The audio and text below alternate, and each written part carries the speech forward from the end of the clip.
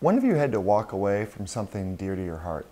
Boy, that's tough. I mean, obviously, love is is is, is the, the first thing I think of, uh, and that everybody knows about that. I mean, that's that's just tough. Uh, it's tough to walk away from, uh, you know, something or someone that you really care about. But projects, you know, uh, work um, life, um, you know, different initiatives that I've worked on, that's got a just different level of toughness to it. It's not the same, and it's not more or less. It's just different. Um, I have now walked out of the mayor's office two times and left a job that I thought, boy, I love who I work with. I love the people that I work with. I love the things that I work on. I get a lot done. But I realize at times it takes a little change. You have to do something a little bit different. Uh, you have to challenge yourself.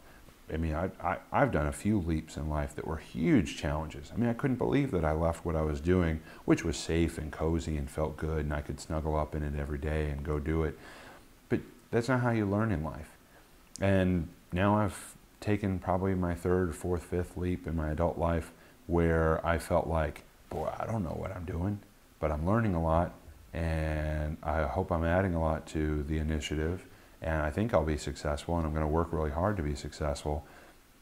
But do I miss what I left behind, what was so cozy and wonderful and warm? Sure, I do. Uh, and you regret it uh, at times, and you sit there and you see the people and you see the uh, things that you had worked on, and you think, boy, I sure do miss that. But you'll learn so much from it, and you take it into your new, new projects and new initiatives, and you're able to use those experiences to help catapult you into new experiences that you can be successful at.